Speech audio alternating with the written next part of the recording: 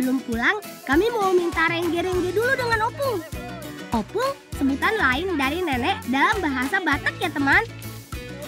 Karena rengge-rengge menjadi salah satu bumbu untuk membuat nan yarsik nanti. Ora opung. Ora sama.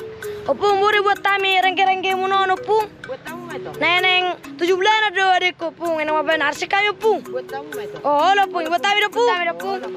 Baik orang aja baik orang. Opung jauh.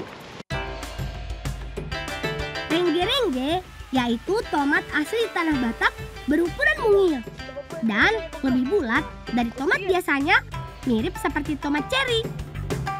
Tanaman ini tumbuh baik di dataran tinggi dan terkena sinar matahari langsung, tapi dengan kelembapan rendah. Tanah di Bakara ini sangat subur teman. Jadi apa pun yang ditanam pasti akan tumbuh dengan baik.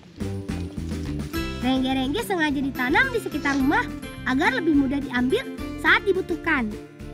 Karena rasanya yang asam, sering digunakan sebagai pengganti jeruk nipis atau asam pada masakan.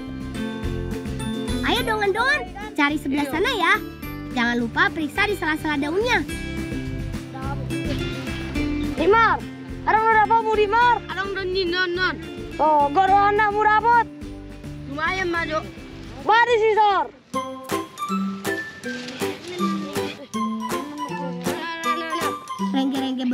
Merah ataupun hijau bisa langsung digunakan.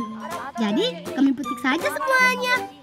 Sudah banyak teman, kami mau langsung antarkan ke kakak. Opung.